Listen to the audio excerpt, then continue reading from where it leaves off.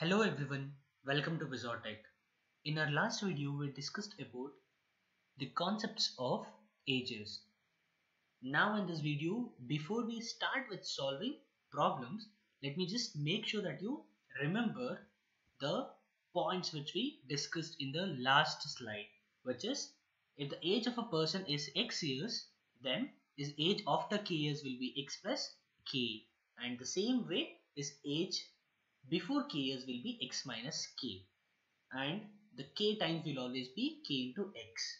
And next if the ages is given in the form of ratios like p's to q then the ages will always be px and qx. And the last one if the current age is x then 1 by n of the age is x by n. So now with these concepts we'll directly start with problem solving the first problem. The sum of ages of 5 children born at an interval of 3 years each is equal to 50 years. Then what is the age of the youngest child? So and it's very obvious that you have options for this question. So which is 4 years, 8 years, 10 and 12. So now let's look into the solution part of this. First thing, let the ages of children be if we take the first age of the child as x then the next ages of the children be x x plus 3 x plus 6 x plus 9 x plus 12 why in the sense? Because in the question they have mentioned that they are born with an interval of 3 years each. And next a very important thing. Now the sum of the ages of all the five children is given as 50 and next what you need to do is to calculate the age of the youngest child which is this child x. So in order to calculate that you just have to add everything. 12 plus 9 which is 21 21 plus 9 which is 27 plus 3 30 so that will give you 30 plus 5x is equal to 50 so in turn 5x is equal to 50 minus 30 which is equal to 20 and from this you have x is equal to 20 by 5 which is equal to 4 and that clearly gives us the age of the youngest child which is 4 years and the right option will be option A 4 years. I hope you are clear with this. Now let's move on to the second problem. What they have given in second problem? The ages of three friends are in the ratio 11 is to 5 is to 30. So the ages are given in the ratio. And next, what is the age of the youngest friend? Again, you have to find out the youngest friend's age if the sum of their ages is 116 years. And you have options for this question as well. So every aptitude question will basically have options. So now let's look into the solution part of this. Let the ages of three friends be 11x, 5x and 13x. Why? Because I had told you in the points to remember. If you remember, the, if the ages are given in the ratio, then their ages will be x times of the given number.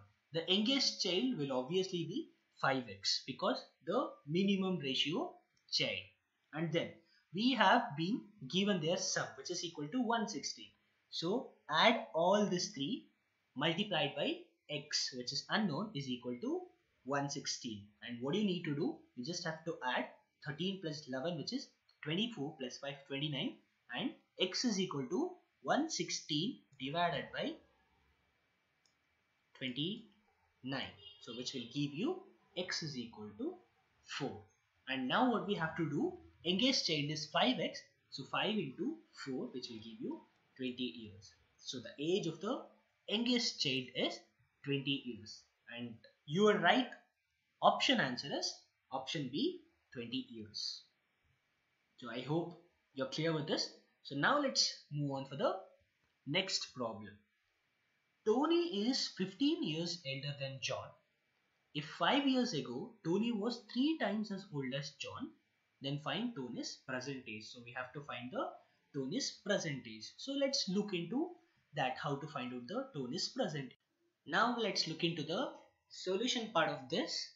in a stepwise manner. In order to calculate Tony's age, we need John's age. So let's consider John's age as y. And now if John age is y, they have given in the question that Tony is 15 years elder than John. So that will make Tony's age as y plus 15. And if you continue with the question, you can also see 5 years ago, Tony was 3 times elder than John. So in order to get that equation, we need Tony's age and John's age 5 years ago. So you know points to remember. Whenever it comes to before ago, you have to subtract the age. So Tony's age will become y plus 15 minus 5. Certainly John's age y minus 5. And now we have the equation. 5 years ago, Tony is 3 times as old as John.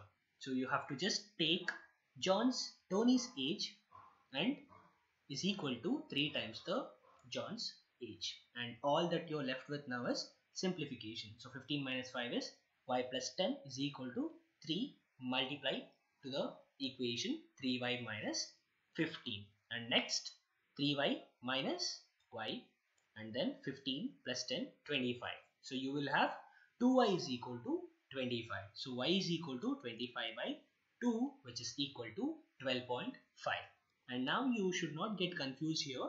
12.5 is not Tony's age. It's y which is John's age. So what is Tony's age then? So very simple. It is y plus 15 which is 12.5 plus 15 that will give you 27.5 years and your right option answer is option B 27.5 years. So that's how you calculate Tony's age. And next let's move on to the next problem. One year ago ratio of Lauren and Elizabeth ages was 5 is to 6 after 4 years, this ratio becomes 6 is to 7. So now what is the age of Elizabeth? Or how old Elizabeth is? So certainly you have op options for this question as well. And now let's look into the solution part. And the first thing is hint. I have already explained you in points to remember. If the ratios are given in terms of this way, if the ages are given in terms of ratios, it's A is to B, then it will be AX and px when it comes to ages. So the ratios of ages of Lauren and Elizabeth is 5 is to 6. So their age will be 5x and 6s. And that 5x and 6x is one year ago. So now what is the present age? You have to add that one year. And now here don't get confused that ago is there so you have to subtract one. That's not how it works. Ago, before and now. So you have to add that one year. That will give you 5x plus 1 as Lauren's age and 6x plus 1 as Elizabeth age. And then after 4 years, Lauren's age will become addition of 4 to this age and Elizabeth addition of 4 to this age. So that will give you 5x plus 5 and Elizabeth age as 6x plus 5. And next step, after 4 years, they have also given the ratio as 6 is to 7.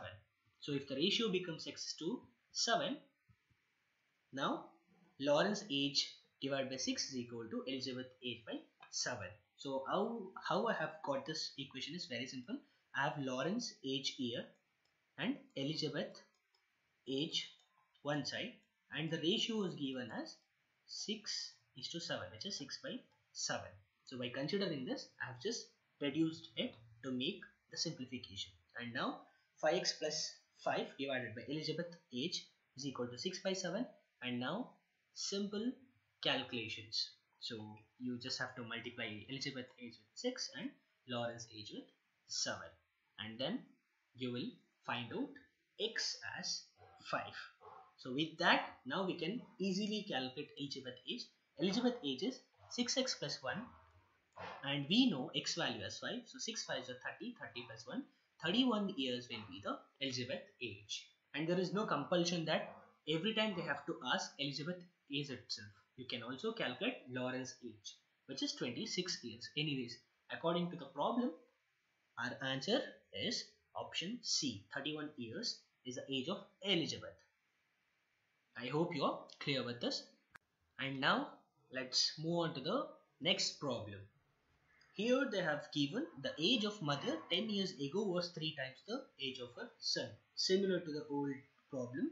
After 10 years, mother's age will be twice that of her son. So once 10 years ago and after 10 years. So we have to calculate for both. Find the ratio of their present ages. So before we calculate, we have options and then let's move on to the solution part. We are given that age of mother 10 years ago was 3 times the age of your son. So that will make, let the age of the son if we consider as x, the mother's age will be 3 times which is equal to 3x. This is 3 years ago.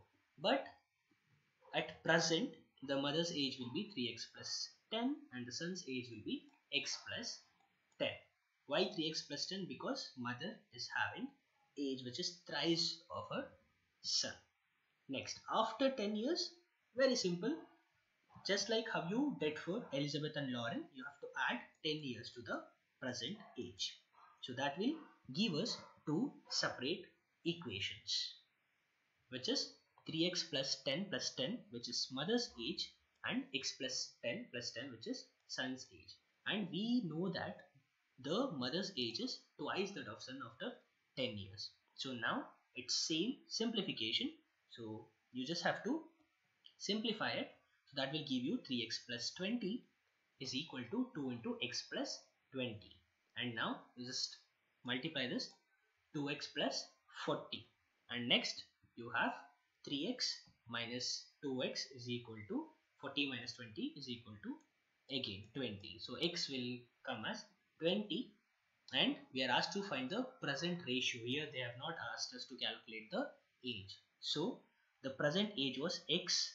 3x plus 10 is to x plus 10 so when we know x is 20 we can just substitute the value.